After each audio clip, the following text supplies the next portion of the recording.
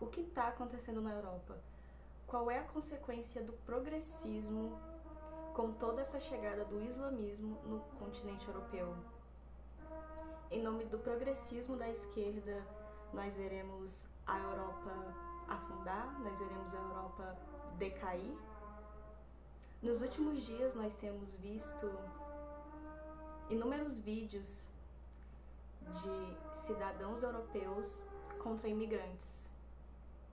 Então a pergunta que fica é: a Europa está fazendo certo em aderir a esse progressismo? Os seus governantes estão tomando as decisões certas ao deixarem as fronteiras dos seus países abertos para quem quiser entrar?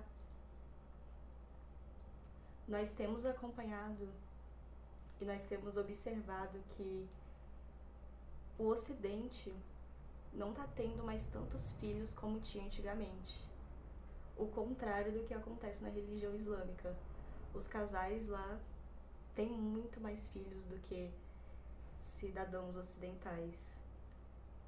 Nós, nós estamos vendo o crescimento do islamismo e uma diminuição de cidadãos do Ocidente.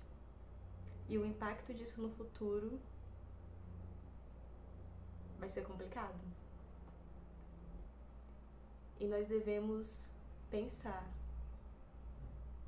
será que a Europa está fazendo certo?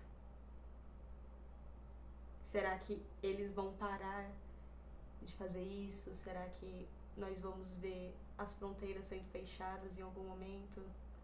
Como vai estar o mundo daqui a 10 anos? Se nós olharmos para o governo americano, se nós olharmos para as propostas do Trump de fechar as fronteiras, a gente vai pensar: será que essa é a decisão correta para o Trump fazer também?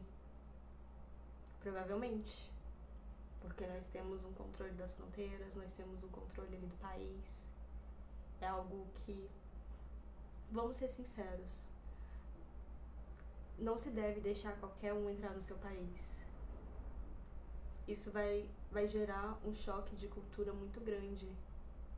Se a pessoa que está entrando no seu país, ela vem de, de uma religião que não aceita se adaptar à cultura do outro, a respeitar a cultura do outro, isso pode ser extremamente problemático.